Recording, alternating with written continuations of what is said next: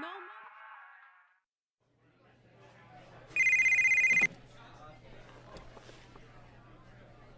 Hello, Sonny. Tommy! Tommy, it's been too long. I know, I know. You're just overwhelmed with emotion. 15 years. Seems like only yesterday. I guess that's a perspective thing. Hey, doing time for the family is no piece of cake, but the family looks after its own, okay? So how'd the deal go down? You sitting on some white gold? Look, Sonny, we were set up. The deal was an ambush. Harry and Lee are dead. You better be kidding me, Tommy! Tell me you still got the money. No, Sonny. I don't have the money. That was my money, Tommy! My money! You better not be screwing me, Tommy, because you know I'm not a man to be screwed with! Wait, Sonny.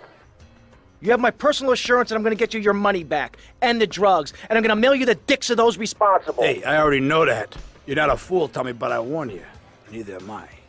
If it was anybody else, you'd be dead already. But because it's you, because we got history, I'm gonna let you handle this. Look, Sonny, you got my word.